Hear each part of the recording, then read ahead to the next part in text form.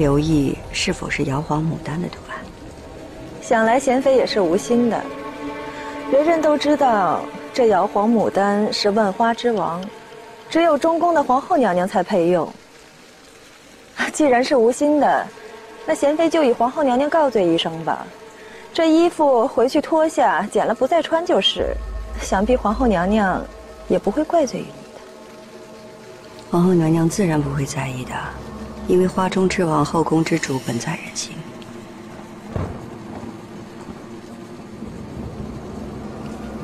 皇后娘娘，臣妾回到宫中会将衣服脱下送到皇后娘娘宫中，但凭皇后娘娘处置。一件衣服而已，罢了，你归安吧。谢皇后娘娘。那臣妾告退了。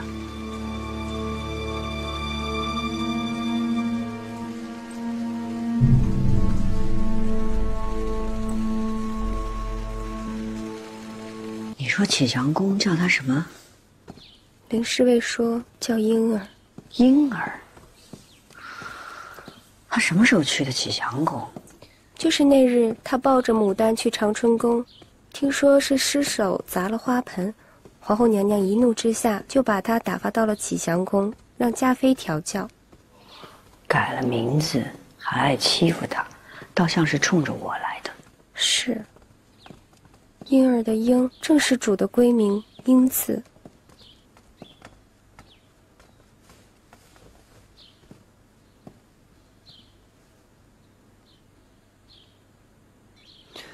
启祥宫爱折磨燕婉，必不会让她受太重的伤或是死了。你且让凌云彻先等一等，等咱们找到机会，就把她从启祥宫救出来。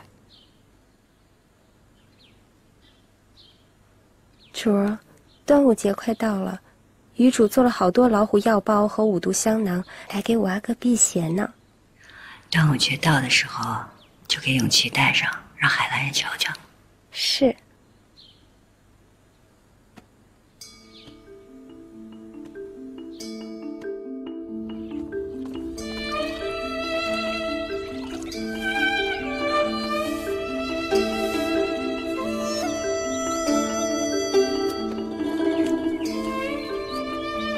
端午节，各宫以兰草汤沐浴。这五毒香囊里装有雄黄、艾叶和各色香药，可以驱虫辟邪。你们配在身上，也算是本宫的一点心意。多谢皇后娘娘。皇后娘娘，五毒饼已经准备好了，那就拿上来，大家一起尝个新鲜。是。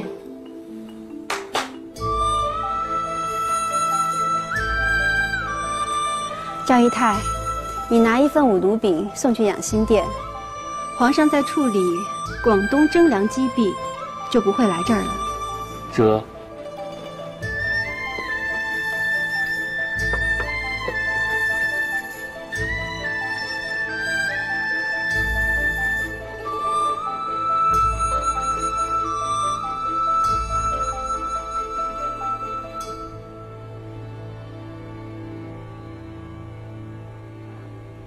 婴儿，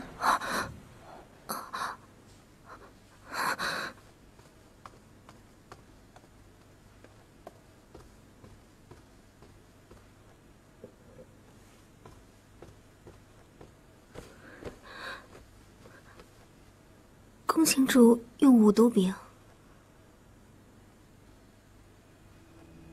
哟，这是什么规矩？咱们却不知道。什么规矩不规矩的？奴才嘛，生来就是伺候人的。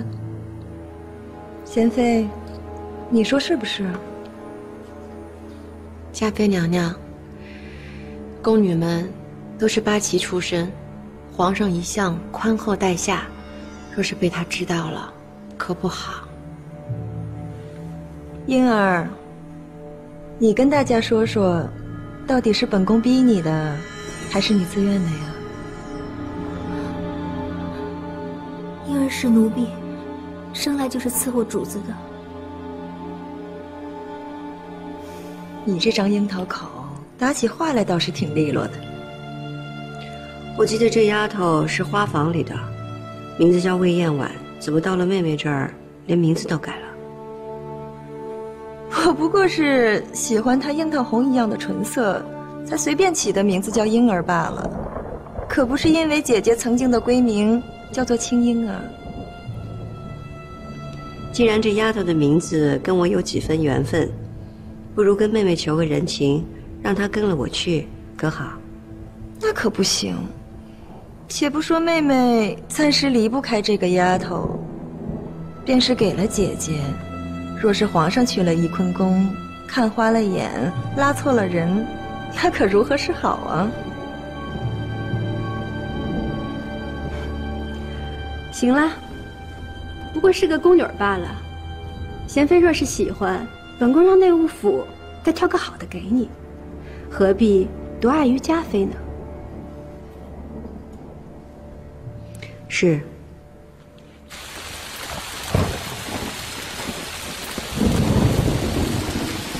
刚才看着嘉妃这么欺负燕婉，心里还挺不好受。姐姐，我劝你一句，别想着去救魏燕了。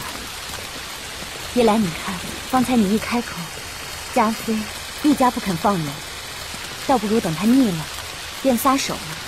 二来，我亲眼见过他勾搭皇上。实在不算是一个安分的人。他勾搭皇上，嗯，怪不得他要断了和凌云彻的青梅竹马之情，后来去了花房才回心转意的。我只知道他攀附隆恩，却不知道连青梅竹马都可以背弃。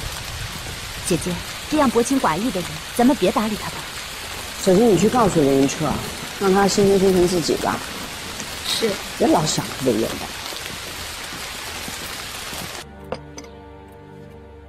贵妃真的到这种地步了，病入膏肓，心血耗尽。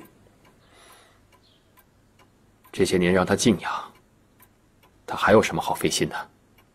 贵妃本是胎里带来的弱症，又过于争强好胜，哪怕是细心调治，总是不能见效。这几年又添上了惊惧之症，便是铁打的身子，也熬不住的。他是自己不爱惜自己啊！皇上，恕臣直言，贵妃可是就这一两日了。知道了，微臣告退了。